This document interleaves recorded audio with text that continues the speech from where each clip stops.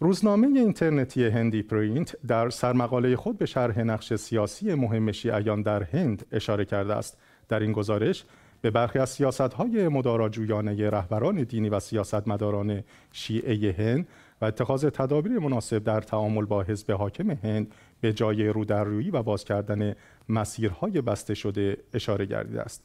ابتدا با هم گزارش همکارم علی اکبری را ببینیم. با تدابیر اتخاذ شده از سوی جامعه شیعیان در هند بزرگترین نهاد سیاسی در کشور به نمایندگی از حزب حاکم هندو بهارتیا جاناتا از طریق رهبران مذهبی آنها در دهه های گذشته ارتباط سنتی خود را با اعضای جامعه شیعه حفظ کرده است. به گزارش خبرگزاری اخبار شیعه روزنامه اینترنتی هندی پرینت در سرمقاله خود نوشت برجسته ترین فرد در این جامعه دینی عالم مذهبی برجسته کلبی جواد از سرشناسترین رهبران دینی شیعیان هندوستان است که در شهر لکنو سکونت دارد و بسیاری از تحلیلگران نقش او را همانند چرخ دنده ای توصیف کردند که سیاست شیعیان در این کشور حول آن حرکت می کنند. این عالم دینی شیعه که تحصیلات حوزوی خود را در دهه 1350 در شهر مقدس قوم گذرانده است به اعتقاد نویسنده این یادداشت نزد شیعیان هندوستان چیزی شبیه به پاپ توصیف شده است این رهبر برجسته دینی شیعیان از خاندان قفران معاب اولین فقیه شیعه هند می باشد که در دوران سلطنت شاه آصف دوله در قرن هجدهم میلادی متعلق به سلسله نواب اواده میزیست. نواب اواده عنوان سلسله است که طی سالهای 1722 تا 1858 میلادی بر منطقه اواده در شمال هند حکومت می کردن. این خاندان شیعه مذهب و به دودمانی ایرانی الاصل از نیشابور تعلق داشتند. و بنیانگذار این سلسله سعادت علی خان نیشابوری بود حزب بهارتی جاناتا با یکی از تاجران شیعه به نام وفا عباس که ظاهری غربی و مدرن دارد ارتباط برقرار نموده. این اقدام کاملا متفاوت با سیاست های سنتی این حزب. آن هم ارتباط ویژه با یک رهبر مذهبی شیعه می باشد این روابط از اواخر دهه 1990 شروع و همچنان ادامه دارد. وفا عباس بارها عنوان کرده که به اختلافات فرقه‌ای و طبقاتی بین مسلمانان توجه نمی کند بلکه به دنبال پر کردن خلای چهره مدرن از اسلام در سیاست است. او مسلمانان شیعه هند را تشویق می کند که به عنوان شهروندان متفکر و متمدن و نه به عنوان یک اقلیت مذهبی در عرصه های مختلف سیاسی اجتماعی هند نقش آفرینی نموده و در انتخابات های مختلف شرکت کنند. نشریه پرینت از وفا عباس به عنوان یک چهره و کنشگر جذاب نام برده که در عرصه های سیاسی اجتماعی هند توانسته نقش موثری ایفا نموده و چهره جدید از شیعه برای جامعه هند ترسیم نماید.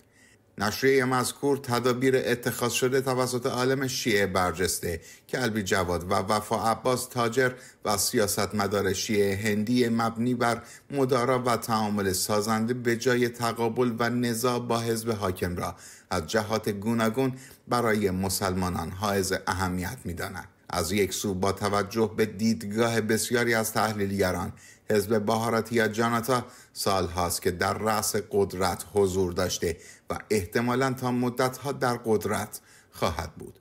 بنابراین باید تدبیری اندیشیده شود تا بی اساس بودن ادعای سران این حزب مبنی بر اینکه مسلمانان باید از ترس حفظ جان و تداوم حیات اجتماعی خود به این حزب بپیوندد اثبات گردد.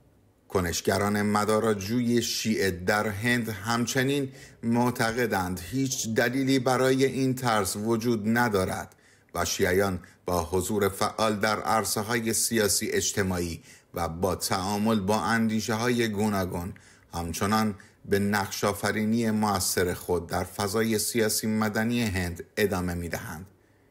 تحلیلگران همچنین معتقدند که دولت‌های متوالی برخواست از حزب بهارتی یا جاناتا در تمامی مراکز و مناطق به دلیل تعامل مناسب کنشگران شیعه با آنها ترغیب شدند که در برنامه های رفاهی خود کاملا غیر انحصاری عمل کنند تا شیعیان و مسلمانان فقیر نیز از آن بهره شوند. علی اکبری اخبار شیعه.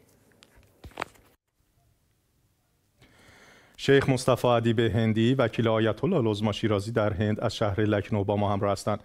حاج آقا سلام علیکم. طاعات و عباداتتون قبول حق. علیکم السلام و رحمت الله و برکاته. طاعات عبادات شما قبول باشه ان الله قبول حق باشه ان الله ممنونم بزرگواری.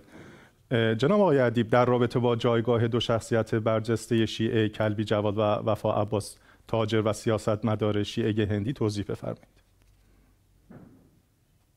خدمت شما عرض شود که هر دو چهره البته همینجوری که در گزارش الان دیدیم چهره آقای کلب جواد که از خانواده اصیل روحانی هست یک چهره برجسته تر است در مقابل آقای وفا عباس که هنوز تازه به صحنه اومده. دوما آقای وفا عباس یک چهره مدرن می‌تونی بگید یک چهره که مثلا از طرف غربی هست و لباس مثلا غربی زده میپوشه و الان به تازه به سیاست اومده. یک فعالیت های انسانی داره در شهر لکنو و در ایالت یوپی.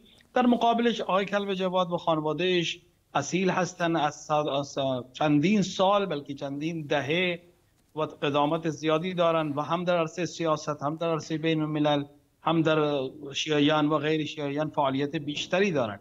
و این چهره جدید تقریبا میشه گفت که همینجوری که در مقاله اشاره شد که بھارتی جنتا پارتی می‌خواد یک چهره جدید از شیعه را به عنوان چهره خودش در بین معتوده مردم شیعه را نشون بده که نمی‌توانست از طریق چهره روحانی مثلا به اون هدف برسه. شاید احتمالش اینجوری باشه و الان ما این سهره را می‌بینیم که چند روز قبل هم یک برنامه مفصل در شهر لکنو بود که در اون یکی از وزرای پای اول کشور از همین حزب حاکم شرکت کرد و خیلی از علما اومدن ولی نفر اول که اومد و همه گزارش ها را داد آقای وفا عباس بود.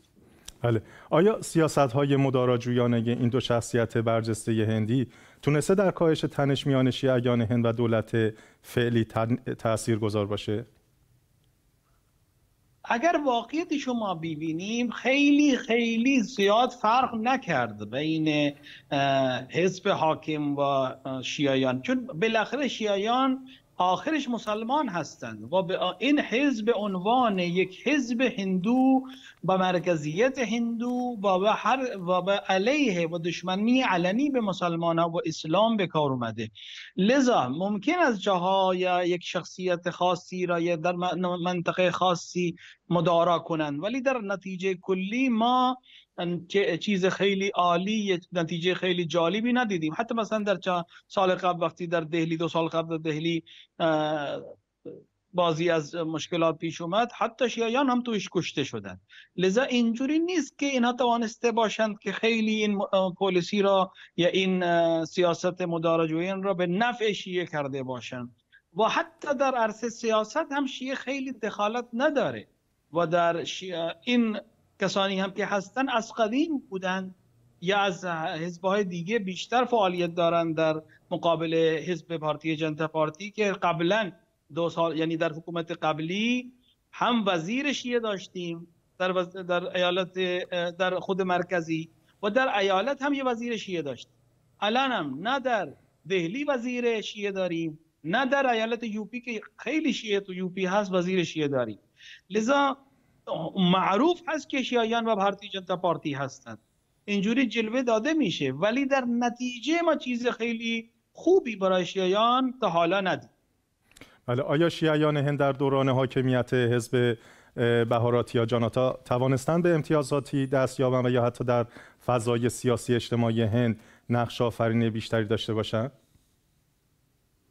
اگر ما چیزها را ملاحظه کنیم ده سال آخر ما می‌بینیم که اثرشون کمتر شده. حتی در نهادهای دولتی اثرشون کمتر شده در شورای دبیری وسیعشون کمتر شده در پلیس اثرشون کمتر شده خیلی جا اثرشون کمتر شده. اون کسانی که کاندید بودند و حق داشتند را هم خیلی جا استخدام نکردند اونجوری که اگر یک کسی بیاد تحلیل کنه می‌فهمه که این سیاست این است که اون جاهایی که شیعیان یا یک توده خاصی از مردم از هر مذهب غیر هندو بیشتر باشند و می‌تونن در انتخابات اثر بذارن اینا افرادی مثل وفا عباس یا مثل کلب جواد را میارن سر کار.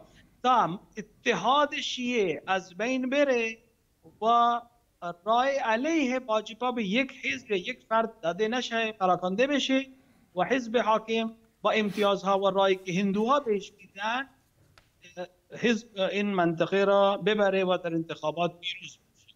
لذا خیلی باید شیعیان الان بهتر با عقل و با شعور و با رهنمایی بهتر عمل کنند تا بتوانند این انتخابات که دو ماه آینده در هند هست در صحنه خوب و پررنگتر را نشون بله تشکر و سپاسگزارم از حضورتون در این برنامه. شیخ مصطفی ادیب هندی وکیل آیت الله لزما شیرازی در هند از شهر لکنو. با ما همراه بودند